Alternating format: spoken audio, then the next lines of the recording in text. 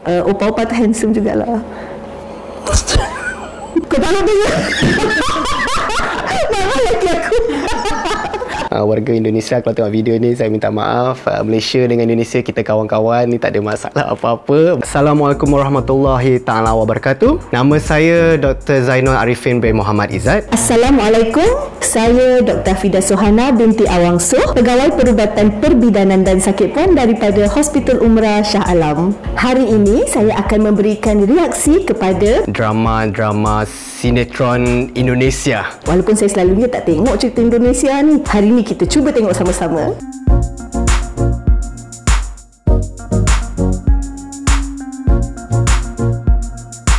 Video ini dibawakan oleh Venom Hybrid, One Brace for all patients. Sekiranya anda mengalami sakit belakang atau slip disc, sila dapatkan kepastian produk bengkung medical yang sesuai dengan kondisi anda. WhatsApp atau call 019-919-9334 untuk kepastian. Kenapa anak saya nggak bisa lihat dok? Apa dia akan buta dok? Ya, sebentar Bu, saya periksa dulu ya Bu. So sekarang ni doktor dia tengah check patient eh, seorang budak.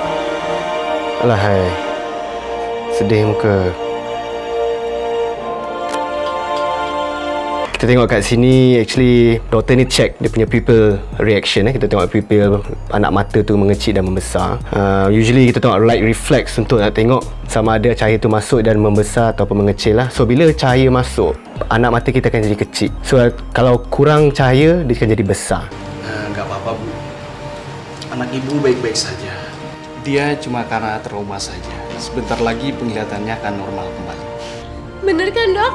iya benar Doktor ni terror ni. Dia tengok je, tengok mata dah tahu dah semua. So basically selalunya kalau kita datang dengan apa-apa, doktor akan tanya history dululah atau sejarah perubatan, apa yang berlaku sebenarnya. Kemudian kita kena buat series of test dululah. Ha, tengok blood pressure, pulse rate, ha, kan? apa tekanan darah semua untuk kita tahu apa sebenarnya yang berlaku. Ha, you kena buat silent chant, this and that. Kalau you tengok people reaction je, it's not because of you nak tengok sama ada dia buta atau tidak. And macam mana dia tahu trauma tu menyebabkan budak ni tak nampak pun saya pun tak faham lah itu level mungkin tu level Maulana punya ilmu pun tak tahulah kan. Tapi memang kita ada kondisi yang boleh menyebabkan uh, hilang daya penglihatan untuk sementara. Selalunya kondisi ini kita panggil uh, vasovagal. Maksudnya berlaku satu overreaction dalam tubuh kita uh, yang menyebabkan tekanan darah dan juga nadi kita jadi sangat rendah. Uh, so kita macam pitam lah kalau masa tu kita tak nampak. Baik selalunya sekejap saja dan dia akan datang kembali. Uh, Sally bisa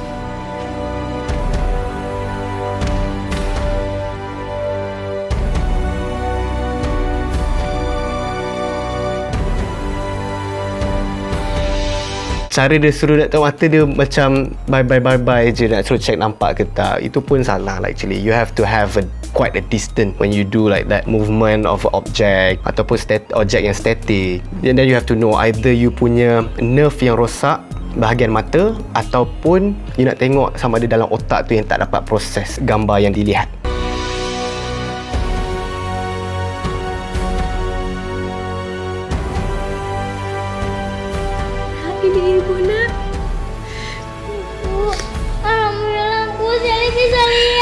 Tapi yang bagus kat sini you tengok budak ni pandai berlakon actually. Dia reaction dia tu very very good actress lah this girl. Cumanya mungkin director dia tak ajar. Bila dia mula-mula tak nampak tapi less than what less than a minute dia check-check terus tiba-tiba dia nampak balik kan. Tu kena perbaiki sikit lah bagi saya. Tak realistik sangat lah. Come on lah you tengok buta tiba buka cak eh eh eh eh tiba dia nampak balik kan. So it doesn't make sense much lah.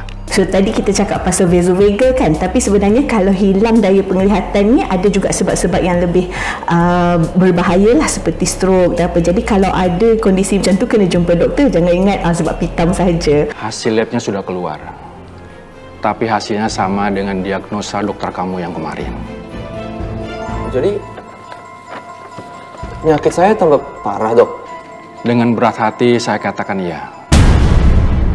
Tapi tapi tapi bukannya saya lebih lebih sehat ya? Saya, justru saya merasa lebih segar. Okay, dalam video ni is between satu doktor dengan satu patient. Dia tengah nak breaking the bad news lah. So yang bagus dekat sini is kita tengok dia ada privacy, the privacy setting. Ya, itu betul. Karena tidak semua penderita kanker otak didera rasa sakit yang terus-menerus. Dan pada dasarnya, jumlah sel kanker tanpa disadari akan terus bertambah dan menyebar ke seluruh tubuh. Ini akan berakibat serius buat penyakit kamu. So kalau berdasarkan apa yang pelakon handsome kita alami tadi, apa yang doktor tu beritahu dia yang dia ada kanser otak dan dah merebak. So memang betul kanser kadang-kadang dan actually most of cancer kita tak tahu kita ada kanser tu sampai dia dah merebak dan menyebabkan ada simptom-simptom yang lain. So simptom-simptom tu seperti batuk berdarah, kehilangan berat badan tiba-tiba, uh, tidur malam berpeluh ya, orang panggil night sweats, uh, hilang selera ya, atau tidak boleh makan. Semua tu kena jumpa doktor. Most people lah, most pesakit kalau dah sampai kanser uh, tahap 4 ni akan adalah simptom-simptom macam makin kurus ke apa. Sebab tu kadang-kadang orang tak tahu dan tak boleh nak terima. Tapi kalau kata rasa makin sihat tu agak susah jugalah nak jumpa. Berarti saya harus harus gimana dok? Soalnya saya nggak mau balik ke Amerika lagi dok. Saya ada orang yang saya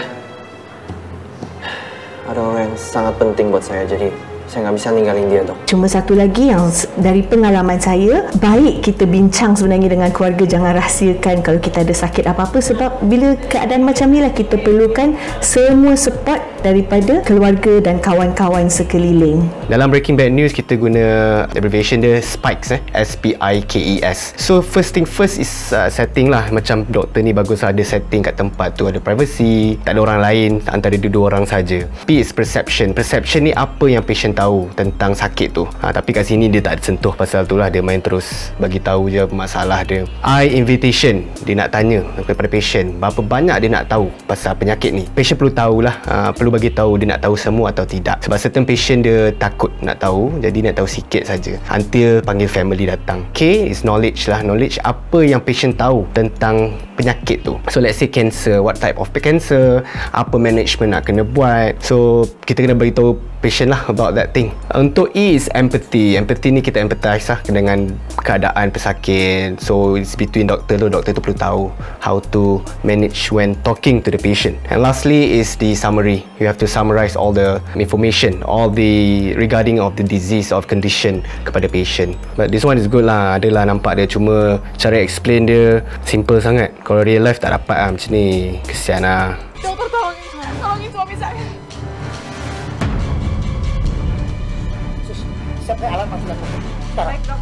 banyak kesalahan yang kita jumpa lah kat video-video semua kan. If you can see dia punya cardiac monitoring tu dia dah flat line bila you tengok patient dia masuk you tengok ada flat line meaning dia dah pulseless jantung dia dah tak berfungsi dah tak ada electrical impulse. First thing first kalau you tengok flat line you kena check dia punya nadi kan? You check nadi dia sama ada ada lagi atau tidak. Sama ada jantung tu ada pumping atau tidak. If tak ada pulse what we do is terus CPR we call for help lah first and then we do CPR Ha, doktor ni dia tak minta pertolongan lah. Dia seorang dengan seorang nurse. Tapi selalunya kalau di hospital kita akan ada hutang emergency ya, di mana semua orang akan datang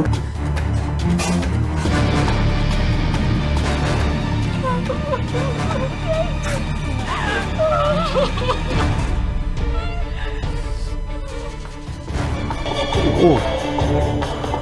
О! Трусь! Macam ni, you tengok cardiac monitor ni dia flat line, dia nak pakai uh, cardioversion. This is what we call cardioversion lah, yang bagi electrocution tu. So cardioversion ni is not bila dah tak ada pulse tu kita guna cardioversion. No, it's not like that. We use it when the heart electrical activity tu dia dah macam ada lari sikit. This arrhythmia they call it in medical term. Uh, such as ventricular tachycardia ataupun VF lah ventricular fibrillation. So selalunya kalau kita nampak orang tak sedarkan diri ni Kita akan cek nadi dia dululah. Doktor ni dia ekstra sikit sebab kita ada mes, dia ada mesin dekat tepi tu yang nampak uh, pesakit tak ada nadi. So kalau kita tak ada tu ada benda-benda yang kita buat lah. Step-step Saya tak bukan nak ajar CPR kat sini eh. Uh, So saya cakap kena pergi belajar CPR Selalunya kena minta pertolongan because banyak step lagi yang nak dibuat. Bukan yang simple-simple macam doktor ni buat saja. Uh, Bukan terus uh, bagi renjatan elektrik saja. Ada banyak lagi step. So belajar CPR eh. So anyways, dalam cardiac monitoring ni flat line, dia terus nak bagi joke, dia nak bagi electrical impulse tu dekat dekat dada dia which is wrong. And also you tengok dia ada cardiac monitor punya patch tu. Itu pun tak boleh actually. You nak kena buat tu you kena keluarkan semua sebab dia ada metal kat dalam tu. Sebab it can cause uh, burning after that. Insya Allah nggak terjadi apa-apa ya. Selalunya kita tak buat di hadapan keluarga lah. Because it's quite traumatic lah. Kalau tengok pelakon ni hebat lah. Dia menangis semua tengok. Because it is it is traumatizing untuk tengok ahli keluarga kita ke kawan kita ke having to go through that ya. So selalunya ramai orang akan datang dan kita akan uh, minta keluarga untuk tinggalkan bilik lah supaya doktor dan nurse boleh buat kerja tanpa orang kata dengan mudah tidak terlalu traumatizing untuk keluarga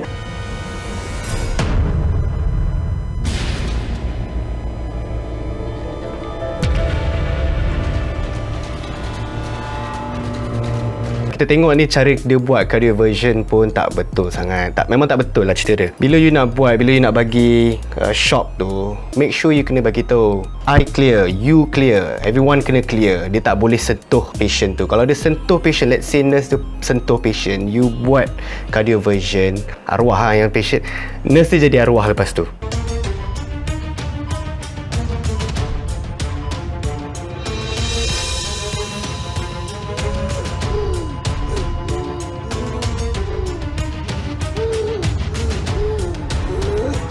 Ah, orang orang kita selalu kata kalau kena pakai oksigen dekat hospital tu, ai parah dah ni lah. Okey memang pakai oksigen tu sebab perlu oksigen lah dan uh, maknanya sakit tu lebih sikit lah. Tapi untuk keadaan macam ni patutnya kalau orang tu pakai oksigen guna facial mask je kita panggil, kalau kita cabut tu dia tak ada lah terus nazak macam ni. Kecuali kalau dia intubated. Intubated tu kita masukkan uh, salur pernafasan tu dalam eh. Uh, dan kita bagi oksigen guna mesin. Yang tu kalau tutup, uh, yes akan ada reaksi yang lebih lebih lah. Tapi kalau facial mask ni selalunya cuma kita nak tingkatkan oksigen dalam darah. So a bit exaggerated lah dekat sini. If you tengok dekat patient tu you sedar dia pakai mask and then dia pakai ada satu kecil tu kan this is not a face mask untuk oksigen. Ni untuk nebulizer actually. Kita pakai untuk orang asma, untuk orang ada COPD nak bagi nak clear out your lungs kan. So kita pakai benda tu. Kalau you pakai nebulizer, you akan nampak the vape keluar atau asap and then you can see the fluid inside the the small container. But this one you tengok kosong and tak ada asap semua. So mungkin uh, pengarah dia tak consult dengan doktor dulu kot.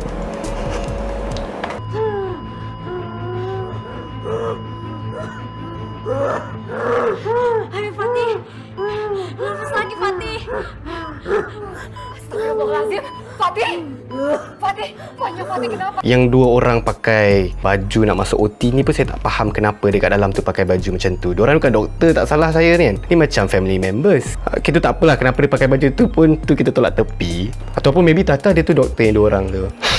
Tapi tak tahu Allah alam. Saya pun tak pasti. Dok, tolong dok. Baik bu, sekarang akan saya bantu. Tapi ibu keluar dulu.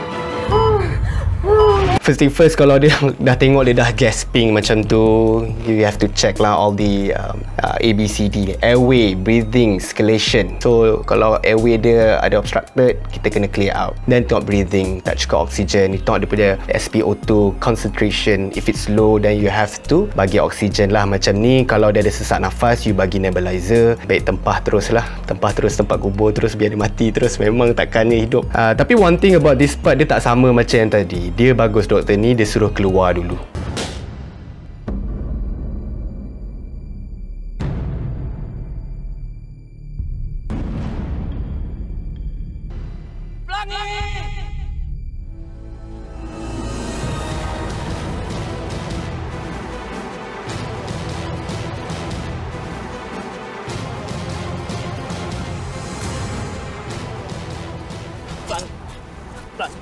Okay, saya pun tak pasti apa yang berlaku kat dalam episod ni sebab nampak macam uh, heroin kot ya, heroin ya.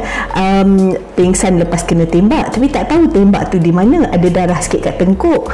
Uh, yang saya tak pasti kenapa dia pingsan macam ni lah, macam terus flat out. Probably dia shock terkejut. You boleh terus uh, black out kan sebab terkejut tiba-tiba pop. Let's say you kena tembak. Darah tu macam tu je tak masuk akal lah dia kena tembak direct. If call direct tu dah memang dah bleeding habis-habisan dah kau-kau dekat situ kan. Tapi kalau kena tembak kat tengkuk bahaya tu sebab semua kita punya salur darah utama semua di situ. Area, area sini actually carotid lah. Ada carotid artery and also ada jugular vein and everything. So this one is a very vital area. So if you kena betul hit one of the sorry vessels memang confirm akan bleeding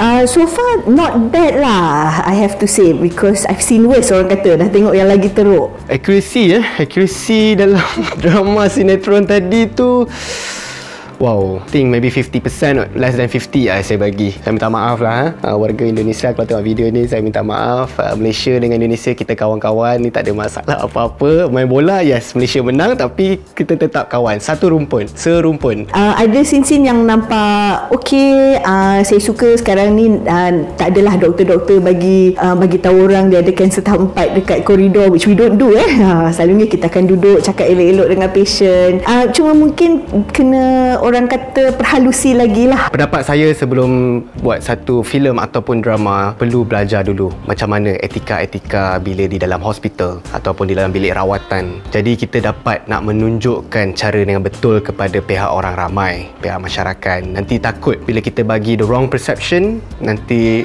orang awam macam Yelah dia akan dapat benda yang salah Saya pernah baca ya, pelakon Korea dia nak berlakon jadi doktor dia ikut doktor 6 bulan uh, sebelum actually dia berlakon supaya dia boleh bagi benda yang tepat dan tunjukkan cara yang betul bila dia berlakon. Maybe kita pun kena invest macam tu lah. Uh, kena usaha lebih sikit. Jangan wah ada skrip terus kita buat drama without actually putting more effort putting more research into it. Kalau nak dramatize kalau nak bagikan drama nak bagi suspense tu semua pun tak ada masalah. Tetapi dari bahagian untuk um, pemasangan equipment ataupun bila jumpa dengan pesakit etika tu kena ada kena betul. So that um, dia tak memalukan kepada pihak kesihatan. Mungkin uh, producer pengarah boleh um, consult ya dengan doktor-doktor uh, ikut doktor-doktor pakar dalam bidang yang diperbincangkan lah. Tapi konsultasi doktor jangan main cukup doktor juga sebab sekarang ni doktor Google pun banyak.